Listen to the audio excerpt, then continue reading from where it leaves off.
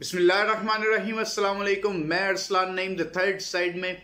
Remember the name series में आज हम लोग जिस शख्सियत की बात करेंगे, वो स्क्वैश की फ़ील्ड में दुनिया का सबसे बड़ा खिलाड़ी है और arguably the greatest sportsman ever जिसने 555 गेम्स लगातार जीती।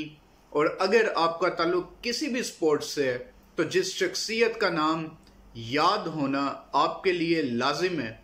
वो है जहांगीर खान।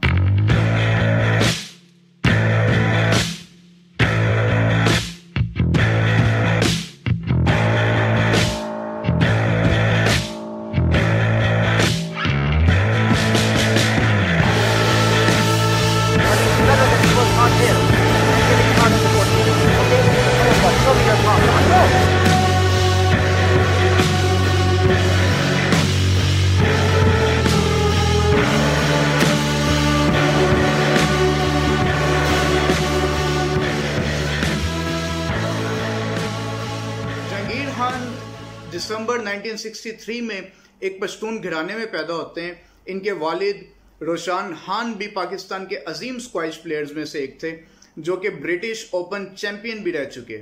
उसके बाद इनके बड़े भाई तोरसम हान, जिनके साथ इनका बहुत ज़्यादा लगाव भी था और वो इनके पर्सनल ट्रेनर भी थे, वो भी पाकिस्तान की नुमाइंदगी करते थे तमाम बड़े इवेंट्स में और वो दुनिया के टॉप टेन या टॉप ट्वेल्व जो बेस्ट प्लेयर्स थे, उनमें से वो एक थे। तो ये एक इनको एडवांटेज था कि स्क्वाइश के बेहतरीन खिलाड़ी इनके घर में ही मौजूद थे, जिससे इनको बहुत कुछ सीखने को मिला। यही वजह है कि 15 साल की एज में इन्होंने वर्ल्ड एमेचोर चैंपियनशिप में पार्टिसिपेट किया और इसको जीतने वाले दुनिया के कम उम्र तरीन शख्स बने। ये एक ऐसी फतह थी, जिसके बाद ये लग रहा था कि ये साल 1979 इनकी स्पोर्ट्स के लिए इनके लिए एक टर्निंग पॉइंट साबित होगा और यहाँ से ये एक अजीम खिलाड़ी बनेंगे। मगर इसी साल एक ऐसा हादसा हुआ इनकी ज़िंदगी में, जिसने इनको मजबूर कर दिया कि वो स्क्वाइश खेलने का जो इरादा है, इसको तर्क कर दें। ये हादसा ये था कि इनके वही बड़े भाई, जो कि इनके पर्सनल ट्रेनर भी थे और जिनसे इनको बहुत ज़्यादा लगाव भी था, वो ऑस्ट्रेलियन ओपन में पाकिस्तान की नुमाइंदगी करते हुए एक मैच के दौरान हार्ट अटैक होने से उनका इंतकाल हो गया। ये इतना बड़ा धचका था इनके लिए, जहनी तौर पे भी, कि उसके बाद इस खेल को मजीद जारी रखने का इरादा इन्होंने तर्क कर दिया। मगर इंसानी दिमाग मुख्तलिफ़ अवकात में, मुख्तलिफ़ अंदाज में काम करते हैं। सबसे पहले इसी हादसे ने इनको मजबूर किया कि इस गेम को तर्क कर दें। लेकिन फिर इनके जहन में यह आया कि मैंने अब इस गेम को खेलना है और अपने भाई को ट्रिब्यूट पेश करना है और फिर इन्होंने इस गेम को ऐसे खेलना शुरू किया कि दुनिया के बड़े बड़े रिकॉर्ड्स तोड़े और उसके बाद वो रिकॉर्ड्स कायम किए, जिसको तोड़ने वाला आज तक स्क्वाइश के मैदान में कोई नहीं आया It's down and that's it. And Jangir Khan takes his eighth title in one hour and 48 minutes. And he really showed signs of being one of the great, great sportsmen. Jahangir Khan 10 बार British open champion बने उसके साथ साथ छह बार world open champion बने इसके साथ साथ इनके पास एक और एजाज ये है कि 1981 से 1986 तक ये नाकाबले शिकस्त रहे और इसी दौरान ये कहा जाता है कि इन्होंने 555 लगातार गेम्स जीती।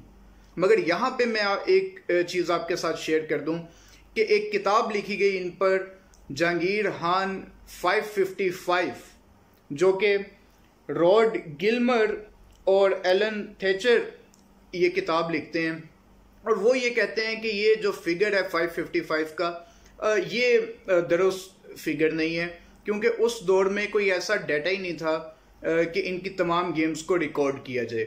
और इतनी ज़्यादा गेम्स इतने कम अरसे में खेली जाना बहुत ही मुश्किल है।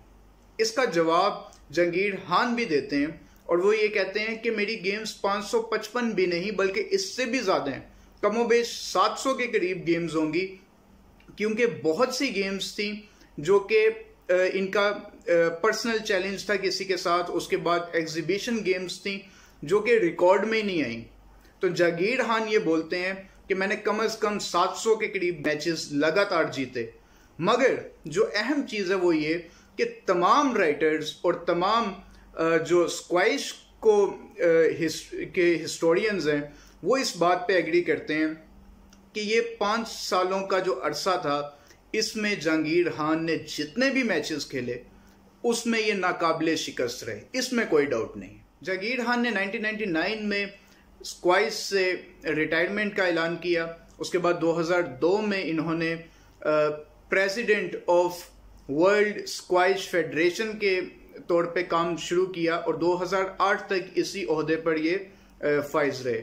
इसके बाद 2018 में शाहिद अफरीदी फाउंडेशन जो है, उसके ग्लोबल प्रेसिडेंट के तौर पे वॉल्टरली काम कर रहे हैं। मेरा एक ओपिनियन है, एक राय है जिससे आप इत्तेफाक भी कर सकते हैं और इख्तलाफ भी कर सकते हैं, वो ये कि जहांगीर खान पाकिस्तान के लिए एक एसेट हैं, अगर आप दूसरी स्पोर्ट्स को भी प्रमोट करना चाहते हैं। वो आपको करना ये चाहिए कि जब भी पाकिस्तानी क्रिकेट टीम कोई अहम ट्रॉफी या कोई अहम इवेंट जीत के आती है और उसके लिए आप कोई सरमनी ऑर्गेनाइज करते हैं तो वहाँ पर जहांगीर खान और दूसरी स्पोर्ट्स के जो से ताल्लुक़ रखने वाले अजीम खिलाड़ी हैं, उनको भी बुलाना चाहिए। और ये वो चीज़ है जिसको जब यूथ ये देखेगी कि क्रिकेट का इवेंट है, मगर वहाँ पे तारीफ़ की जा रही है जहांगीर खान की, एक स्क्वाइश के खिलाड़ी की, या सुहेल अब्बास की, जो कि हॉकी के प्लेयर हैं। तो उनके अंदर भी ये एक जज्बा पैदा होगा कि इन खेलों से भी हमें इज़्ज़त मिलेगी और हमें इन खेलों को भी खेलना चाहिए। जो कि पाकिस्तान में स्पोर्ट्स को फ़रोग देने में बहुत ही अहम किरदार अदा करेगा। अगर आपको ये वीडियो पसंद आई तो लाइक शेयर सब्सक्राइब ज़रूर करें। बहुत शुक्रिया।